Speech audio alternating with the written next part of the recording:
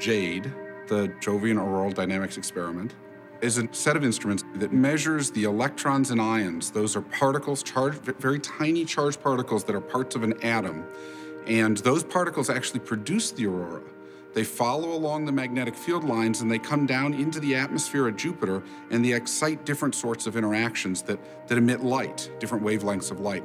Those we observe as the aurora, but the aurora is really caused by these tiny, tiny particles coming down into the atmosphere. And JADE actually measures those individual particles. There are three identical electron sensors, and they look off in three different directions around the, the belly band of the spacecraft so that they've got a broad field of view, 120 degrees wide, so the three of them actually can see all the way around the spacecraft all the time. The JADE ion instrument is, is different it actually has a thing that looks a little bit more like a hamster wheel and a hamster cage, and that's to allow particles to come in over 270 degrees of uh, observing angle, and twice per minute the Juno spacecraft spins around, and that allows that field of view to observe all of space.